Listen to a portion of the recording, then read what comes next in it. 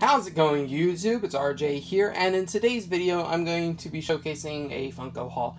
Now Funko is going to kind of die down a little bit on this channel and it's going to be a little bit more Pokemon oriented with some live streams. But I just wanted to let you guys know I'm not giving up on Pokemon. Absolutely not.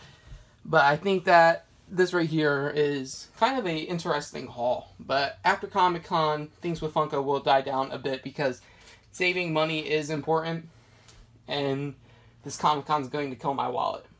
But onwards to the video. Uh, first thing I want to showcase is actually the Unmasked Gwenpool. I picked this up from Walgreens. It's been out for a while, but decided to get it now because, you know, who knows if it's not going to be there next week. And I think this is the best looking Gwenpool out of all of them. I think I'm only missing just the common one, which I is there a common one? I think there is. But I just wanted to round out my collection a little bit. But I picked this up. But yeah, this is pretty cool. I got the Comic Con exclusive one and the other exclusive Toys R Us one. But I decided to pick up the Walgreens one. Then I also picked this up from FYE because I had to pick a third pop to get the third pop for 75% off. Pick this one up because I actually don't have this common one. I actually have the Chase version. But this is actually pretty cool. Very happy to have him in my collection finally. I have to work on getting this Guardians line finished. I gotta get both of the Guardians lines finished. And I would love to, but you know, it's expensive. But you know, that's what happens whenever you make videos and you want to buy complete sets. But yeah, Star Lord, really, really cool. Then I got this from Hot Topic, and I added this on to go get my last thing of Hot Cash before, um, before I couldn't get Hot Cash anymore. But yeah, I actually picked this one up. Goes along well with my two other ones that I have back there. Uh, you can see the Wonder Woman just slightly behind the Supergirl. And then my Gardevoir card is covering up the Poison Ivy just a little bit. But, you know, this is definitely going to be back in the the background for you guys to look at. Next, um, got these from Hot Topic because they were $7 a piece. So I got the Robin with Baby, and then I got Medusa from the Inhumans. Now, don't really care too much for Teen Titans Go, but I've seen the episode actually where this was actually showcased.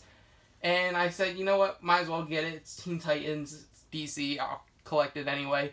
And then the Medusa, I actually really like the character design. I don't think the Inhumans TV show did very well, and that's probably why this character doesn't sell very much. But for $7, I didn't think you could beat that very... There's not much you can beat for $7, so pick that up. And that helped me get my hot cash just with these two.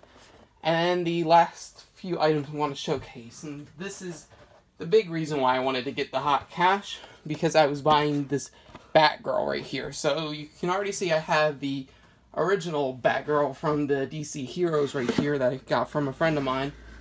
But I got this Diamond exclusive, the Diamond Collection Hot Topic exclusive one, and it looks really good for it. I think that the Harley Quinn looks better, in my opinion, but I wanted to pick this one up anyway because I actually don't have that Batgirl. I don't think. I think I just have the uh, blue and black version of that. But yeah, this one's actually really cool to have in my collection. So there we go. Batgirl from the Diamond Collection. Then I got this from GameStop. Today is the day that these have been released. This is Janet Van Dyne. I actually would have been able to get this a little bit earlier. However, it was street dated. So they held it for me. Now, they put a rubber band around it and it kind of damaged it a little bit. But I don't really care at this point. I just really wanted it. And then Funko announces, hey, we have an unmasked version of this going to Target. And I'm like, you suck, Funko. But no, uh, it's going to be a pain to get that. And now every single last character on here has a variant. Two chases for Ant-Man and Wasp. Ghost has an invisible variant. Hank Pym has an unmasked variant. Janet Van Dyne has an unmasked variant. And I'm just thinking, oh my gosh, there's 10 pops in this one wave for this small movie in scale, honestly.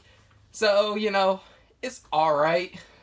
I have to get both the unmasked versions, and I have to get both Chase variants for sure, because I ordered online with Hot Cash the Wasp exclusive, and I mean the Wasp So maybe I might get the Chase, but normally don't count on it. So I have to get both Chase variants, and then I actually have to get the common Ghost because I actually ordered the Walmart exclusive one just two days ago. But yeah, Janet Van Dyne from the movie Ant-Man and the Wasp. Now, I don't know what to showcase next. Uh, I'll showcase this next. Let's see, does it fit? Yes, it does. I have the Jason Voorhees Friday the 13th cereal, which today's actually Friday the 13th, so that's why I picked this one over the Freddy Krueger one. Now, I don't know if I should eat this and review it, or I should just keep it in a box. You guys let me know, because I honestly don't know what to do with it at this point. But yeah, this is actually really, really cool. I should just, I don't know if you guys want me to do an unopening of this in general, but yeah, that's actually pretty cool to get this, so I'm keeping that. Now, there's three items. One's going to be difficult to showcase, but I'm going to showcase that right now because the other two are items that aren't even released yet, announced yet. I got this bad boy. Holy god, it's huge. I'm serious. Like I did, like I have the 10 inch Porg. This seems bigger than the Porg for some reason. I don't know why, but this is amazing. Now this is the Target exclusive Jurassic World one from the Fallen Kingdom. I actually like that movie, and I went and rewatched it yesterday. I really like it. There's a few things I had issues with, but you know, I think it was better than the first Jurassic World, which I think is better than honestly, I think it's better than the third one, and I think it's tied for the second one. So I think this one's a little bit better than the second one, which is pretty good. So out of one, out, I think the only one that's perfect in most cases is Jurassic Park, the first one.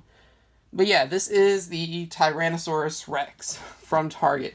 10 inch. Holy god, is it big. I don't know. Should I take it out of the box to show you guys? Uh, I don't know. Not in this video. Not in this video, because honestly, in this little display area I have, it can't. Like, it. That's how it fits in. It's so huge. It's like impossible. Like, holy god. You can stack up two pops next to it, and it's still not the same size as this box. Now, the last items I want to showcase are pretty darn cool. I was able to get the Predator and the Super Predator. Now, this comes from the movie The Predator, and I'm very happy to have this in my collection, especially this early. Now, from what I know, there is a chase version of both the Predator and the Predator dog because what I was told from the people at FYE, they were like, they didn't get the Predator dog, but when they scan for it, there's actually a chase variant for the Predator dog. And there's a chase variant for the Predator, this one right here, where he's actually unmasked. But yeah, this is super cool. I already unboxed these. If you want to go check them out, check my Instagram page. Uh, I think it's RJ Kinzel. But holy god, I'm so excited to have these early. But yeah, you tell me what you guys think of these. Um, I was going to pick them up probably anyway. But if you guys like this video, please hit that thumbs up button. And I have one more video for you guys coming up probably next week for a figurine that I got. But yeah, uh, hope you guys enjoyed, and I will see you guys next time with more Funko content. So until then, you two, goodbye.